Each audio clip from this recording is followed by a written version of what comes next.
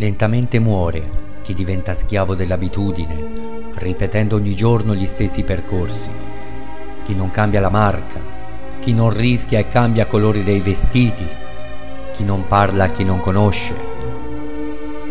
Muore lentamente chi evita una passione, chi preferisce il nero sul bianco e i puntini sulle i piuttosto che un insieme di emozioni, proprio quelle che fanno brillare gli occhi, quelle che fanno di uno sbadiglio un sorriso, quelle che fanno battere il cuore davanti all'errore e ai sentimenti.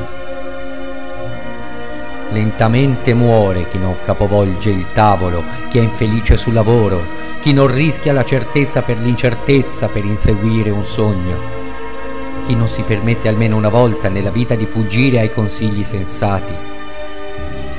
Lentamente muore chi non viaggia, chi non legge, chi non ascolta musica, chi non trova grazia in se stesso. Muore lentamente chi distrugge l'amor proprio, chi non si lascia aiutare, chi passa i giorni a lamentarsi della propria sfortuna o della pioggia incessante. Lentamente muore chi abbandona un progetto prima di iniziarlo, chi non fa domande sugli argomenti che non conosce, chi non risponde quando gli chiedono qualcosa che conosce. Evitiamo la morte a piccole dosi, ricordando sempre che essere vivo richiede uno sforzo di gran lunga maggiore del semplice fatto di respirare.